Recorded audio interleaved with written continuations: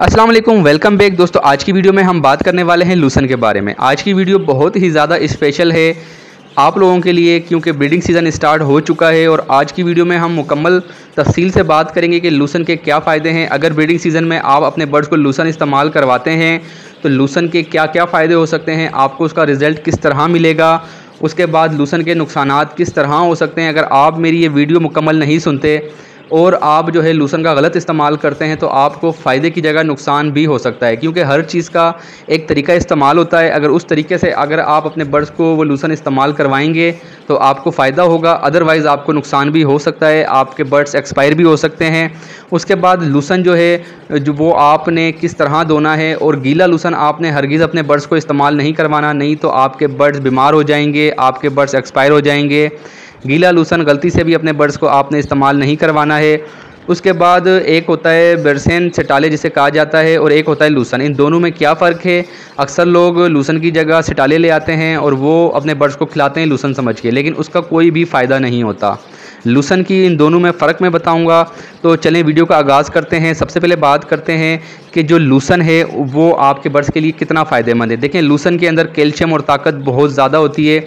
आप इस चीज़ से अंदाज़ा लगाएँ कि एक तरफ़ आप 10 किलो चने रख दें। ठीक है, आपको पता है चने कितने ताकतवर होते हैं। इंसान खाते हैं तो उनको कितनी ताकत मिलती है।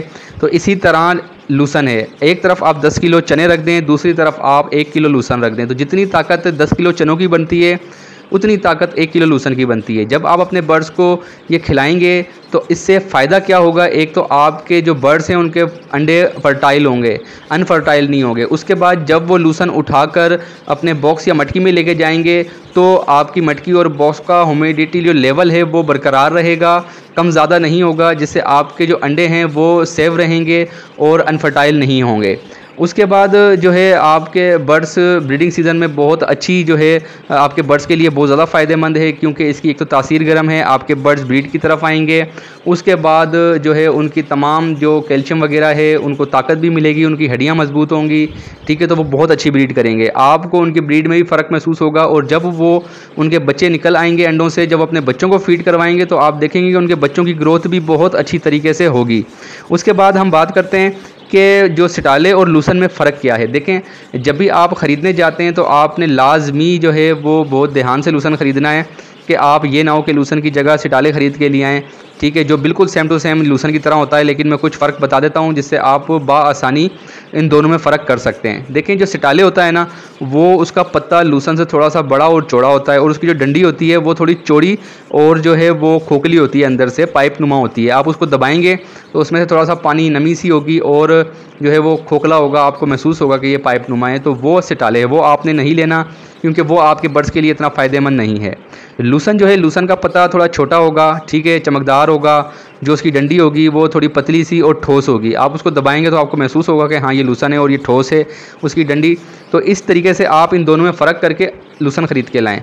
उसके बाद कि आपने लूसन के अंदर भी दो किस्में होती हैं। आपने कौन सा लूसन ख़रीदना है? एक नया लूसन होता है एक पुराना लूसन होता है। जो पुराना लूसन होता है, उसके अंदर जो है फूल निकलते हैं। ठीक है, जो फूल वाला लूसन होता है, वो मतलब आपके बर्ड्स को खिलाना चाहिए क्या? वो आपके बर्ड्स के लिए बेहतर है। और एक लूसन होता है जिसमें फूल नहीं होता। इन दोनों में क्या फ़र्क है? देखें, जब भी लूसन काश्त होता है, उसके जो नए दो से तीन साल तक लूसन के अंदर फूल नहीं आता। क्योंकि वो बिल्कुल नया लूसन होता है, ठीक है, और वो लूसन आपके बर्ड्स के लिए बहुत ही ज़्यादा फ़ायदेमंद है, उसके बहुत ज़्यादा फ़ायदे हैं। और आपके बर्ड्स वो बहुत शौक से खाएँगे। उसकी नस्बत जो पुराना लूसन होता है, जो तीन साल के बाद होता है, उसके बाद उसमें फूल आने लग जाते हैं तो वो आपके बर्ड्स के लिए इतना फ़ायदेमंद नहीं है क्योंकि आपके बर्ड्स वो बहुत कम खाएँगे। उनसे, वो खाने से आपके बर्ड्स की भूख भी कम हो जाएगी, ठीक है, और इतने शौक से भी आपके बर्ड से वो नहीं खाया जाएगा। तो इसलिए कोशिश करें, जब भी आप लूसन ख़रीदने जाएँ तो नया, फ्रेश, ताज़ा लूसन ख़रीदें, ठीक है अच्छा लूसन ख़रीदें।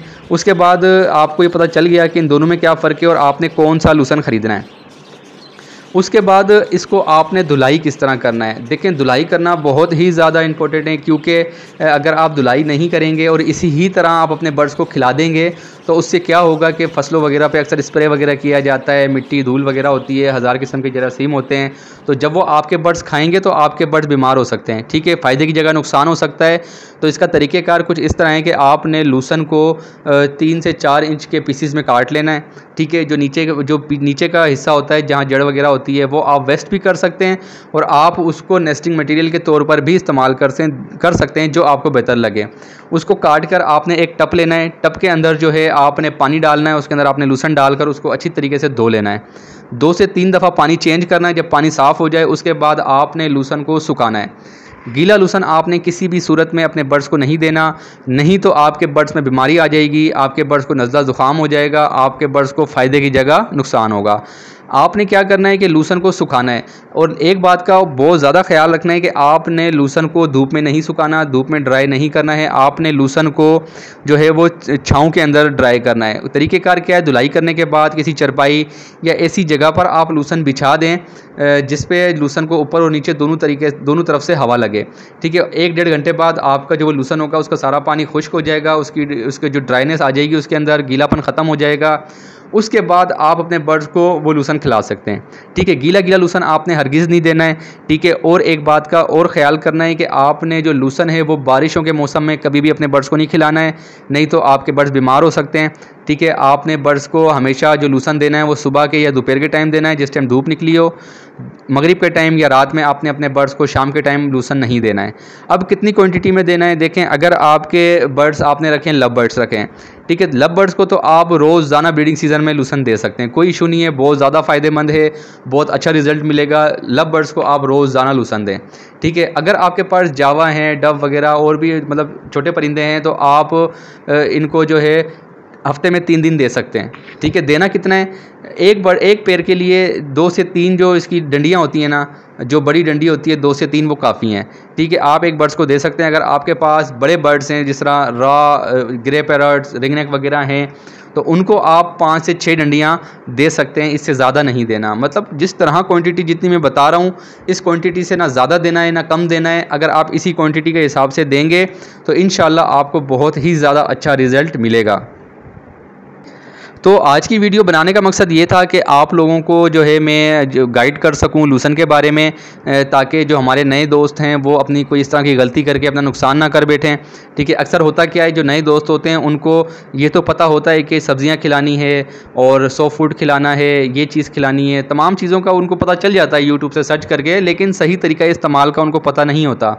जिसकी वजह से वो क्या करते हैं, वो अपने तरीके से खिलाते हैं, जिसकी वजह से उनको फ़ायदे की जगह नुकसान हो जाता है। उनका शौक़ ख़त्म हो जाता है, वो कहते हैं, यार, ये सारी चीज़ें फजूल हैं, ये नहीं खिलानी चाहिए बर्ड्स को, लेकिन सही तरीके इस्तेमाल से अगर आप अपने बर्ड्स को ये चीज़ें खिलाएँगे तो इन आपको बहुत ज़्यादा फ़ायदा होगा।